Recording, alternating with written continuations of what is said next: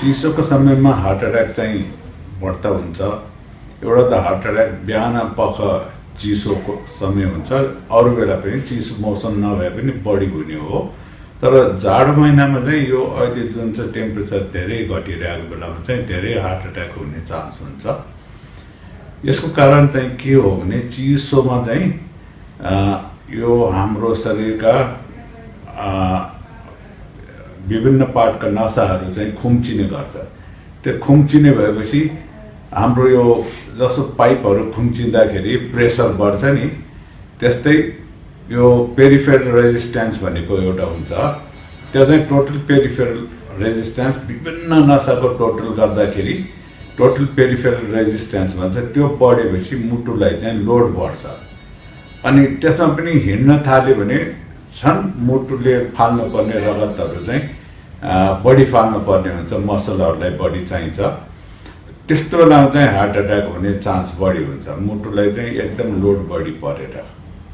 अब त्यो लोड बढी परेर नर्मल कोरोनरी आर्ट्रीहरूमा त हुँदैन केही।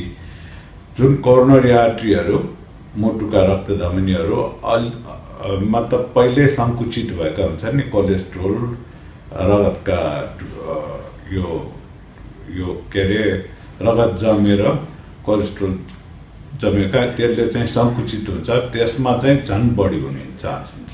अलिकति चाहिँ गाह्रो हुन्छ पसिना आएको जस्तो चिसो पसिना आएको जस्तो हुन्छ। एकदम कमजोर भएको जस्तो हुन्छ। अनि कहिले चाहिँ हाततिर बायाँ हाततिर दुख्न थाल्छ कहिले बङ्गारा दुख्ने कहिले छातीमा भारी सिलौटाले थिचेको जस्तो हुने।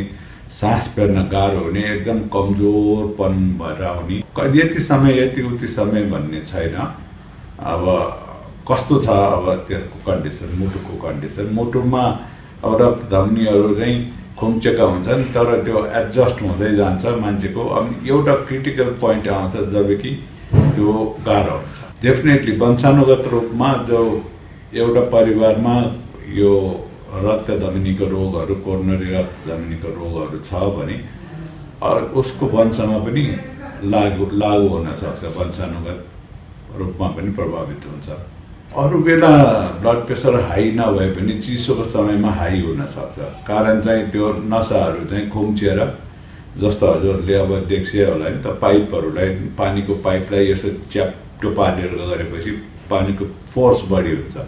प्रेसर भनेकै त्यही नसाभित्रको ब्लडले रक्तधमनीको वालहरूमा दिएको फोर्स हो।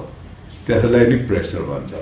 अब प्रेसर नै बढ्ने नदेखेको प्रेसर पनि देखा पर्ने अनि हिँड्दाखेरि मुटुलाई लोड पर्ने यस्तो भएकोले चाहिँ हार्ट एट्याक हुनसक्छ अब बच्न चाहिँ अब हामी मर्निङ वाक जाऊ भन्छौँ। अब यस्तोमा चाहिँ मर्निङ वाक चाहिँ सप्पर नगरेर घाम लागिसकेपछि जाने अथवा बरु इभिनिङमा साँझमा हिँड्न थाल्ने अथवा आफूलाई जानै पर्यो भने पनि राम्ररी के अरे राम्रो न्यानो लुगा लगाएर हातमा पन्जा टाउकोमा टोपी मोजा जुत्ता लाएर न्यानो गरेर जाने।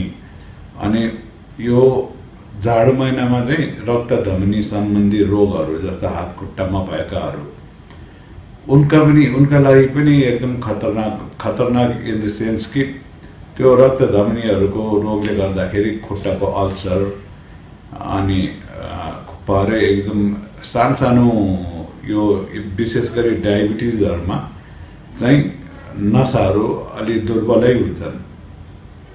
अनि ती नसाहरूमा पनि कोलेस्ट्रोलहरू जमेको हुन्छ। चिसोले गर्दाखेरि पनि त्यो खुम्चिएर खुट्टामा घाउहरू हुन सक्ने अल्सर भन्दाखेरि घाउहरू हुन सक्ने कसै कसैको त खुट्टै काट्नु पर्ने पनि हुनसक्छ ग्याङ्ग्रिन भनेर चाहिँ निलो कालो देख्नुभयो होला नि त हजुरहरूले। त्यस्तो भएर। बच्चाहरूमा हुने भने त अब कोर्नेली आर्ट्रीहरूको बनावटै त्यस्तै एबनर्मल भएर होला। तर वृद्धहरूमा हुने चाहिँ बढी चान्स हुन्छ। बच्चाहरूमा चाहिँ विशेष गरी अब जाडोमा त हजुरहरूलाई थाहै छ यो निमोनिया सिमोनिया ब्रोकाइटिस है बा दमको रोग यस्तो बढी हुन्छ।